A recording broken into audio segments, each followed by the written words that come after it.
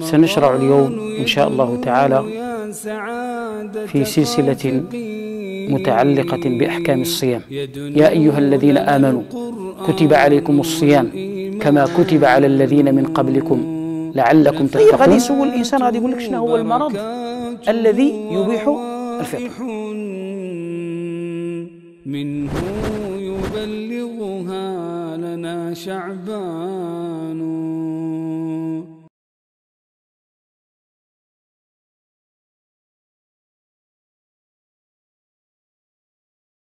الحمد لله والصلاة والسلام على رسول الله وأشهد أن لا إله إلا الله وحده لا شريك له وأشهد أن محمدا عبده ورسوله. لا زلنا نتكلم عن الآداب التي ينبغي أن يتأدب بها الصائم في نهار رمضان. ذكرنا يعني وجبة السحور وذكرنا تعجيل الفطر وذكرنا الدعاء عند الفطر وفي الصيام عموما. الأدب الرابع هو الكف عما ينافي الصيام. يعني كل حاجة اللي هي لا تناسب هذه العبادة فينبغي أن يكف عنها الإنسان وأن يتحفظ عن الأعمال المشينة. لأن ربنا عز وجل ذكر بأن هذا الصيام يوصل العبد إلى التقوى. كما في آية تشريع الصيام. قال الله عز وجل يا أيها الذين آمنوا كتب عليكم الصيام كما كتب على الذين من قبلكم لعلكم تتقون. فالمقصود الأعظم من الصيام هو بلوغ درجة المتقين. بلوغ درجة المتقين. فهل يستقيم أمر التقوى مع المعاصي؟ لا يستقيم. إذا المسلم يكف عن جميع ما ينافي الصيام. ولذلك قال النبي صلى الله عليه وسلم من لم يدع قول الزور والعمل به فليس لله حاجة في أن يدع طعامه وشرابه من لم يدع من لم يترك قول الزور والعمل به أي العمل بمقتضاه. قول الزور يعني الزور هو الكلام الباطل وهو اللغو وهو ما لا يفيد وما يؤذي يدعه والعمل به يعني سواء القول أو الفعل. فليس لله حاجة في أن يدع طعامه وشرابه طبعا العلماء كيقولوا هذا لا مفهوم له. ماشي إلا كان الصيام صحيح الله عز وجل محتاج له. لا هذا لا مفهوم له. فالله عز وجل غني عن عبادته. لا تنفعه طاعاتهم ولا تضره معاصيهم لتمام غناه سبحانه وتعالى وتمام ملكه سبحانه وتعالى. لكن العبد ينبغي أن يترك المعاصي. وأن يترك يعني ما نراه الآن يعني الناس يعني يشتغلون بمشاهدة التمثيليات والمسرحيات والسكيتشات والكاميرا الخفية. والأغاني وكليبات كل شيء هذا الشيء كله مخالف للصيام لأن الصائم ينبغي أن يتأدب بأدب الصيام وأن يترك كل هذه الأمور لأنها مجانبة ومنافية للصيام. الأدب الخامس هو قضية السواك. السواك. فالمسلم يستحب له أن يستاك. الرسول صلى الله عليه وسلم كان يقول: لولا أن أشق على أمتي لأمرتهم بالسواك عند كل وضوء وفي رواية عند كل صلاة. وكان يحث أصحابه على ذلك حتى قال لهم أكثرت عليكم في السواك. وكان يقول السواك مطهرة للفم مرضاة للرب. فالسواك يعني من الآداب التي ينبغي أن يعني يتعاهدها المسلم.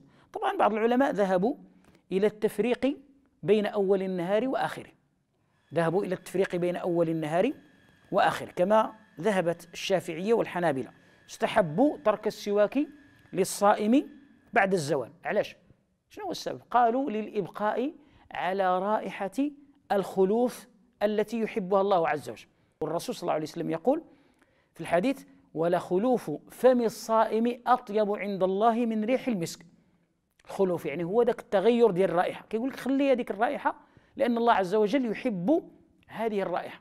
هذا التغير اللي الناس كيكرهوه وكيكرهوا يشموه هي أطيب عند الله عز وجل من ريح المسك لأنها يعني متولدة عن طاعة عظيمة وهي طاعة الصيام لكن العلماء يقولون بأن لا فرق بين السواك واستعماله في أول النهار أو في آخر النهار عند كل وضوء عند كل صلاة فهذه من السنن ومن الآداب التي يجوز للمسلم أن يفعلها سواء في أول النهار أو في آخره. ويقاس عليها أيضا كما يقول العلماء قضية استعمال الفرشاة ويعني الآن العصرية فلأنها تزيل يعني ما يبقى في يعني الفم وبين الأسنان واللثة واللسان يعني من آثار الطعام ومن زهومة ومن آه، ريح فإن ذلك يعني أمر طيب.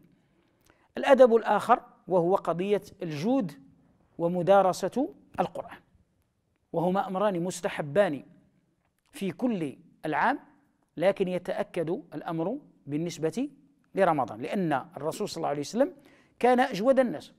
طبعا الجود ديال النبي صلى الله عليه وسلم في حياته كلها كان أجود الناس وكان أجود ما يكون في في رمضان. حين يلقاه جبريل وكان يلقاه جبريل في كل ليلة من رمضان ويدارسه القرآن. إذا كيف كيكون الجود ديال النبي صلى الله عليه وسلم حينما يلقاه جبريل؟ تقول عائشة رضي الله عنها أو يقول ابن عباس يقول ابن عباس رضي الله عنه فلا رسول الله صلى الله عليه وسلم أجود بالخير من الريح المرسلة. يعني شبه جود النبي صلى الله عليه وسلم بالريح المرسلة أي في الإسراع وفي العموم. يعني هو يسرع إلى الجود ويعم جوده جميع من يحتاجه. جميع من يحتاجه. إذن الرسول صلى الله عليه وسلم كان جوادا في رمضان وكان يدارس القرآن ويتعاهد القرآن. إذا المسلم ينبغي أن يتأدب أيضا بهذه الأدب. يجعل له واحد الورد من القرآن يختم يختم ختمات. كان الصحابة يتنافسون في ختم القرآن وكذلك كان السلف. ومن أئمة السلف التي الذين وصل خبرهم إلينا الإمام مالك رحمه الله. فكان يهجر مجالس الإملاء ومجالس العلم ويشتغل بالقرآن ويقول هذا شهر القرآن هذا شهر القرآن. إذا الإنسان يجتهد في قراءة القرآن في نهار رمضان ويشغل وقته بذلك وأيضا يشتغل بالإنفاق وبالكرم وبسد حاجات المحتاجين من الفقراء والأرامل واليتامى والمعوزين والزمنة والمرضى وغير ذلك. فإن هذا يعني من الأمور الحسنة. وأيضا قضية تفطير الصائم أيضا من الأدب أن يفطر الصائم. والرسول صلى الله عليه وسلم يقول من فطر صائما كان له مثل أجره.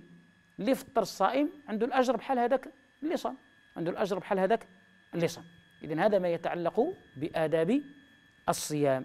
والحمد لله رب العالمين وصلى الله وسلم وبارك على نبيه الأمين. والحمد لله رب العالمين.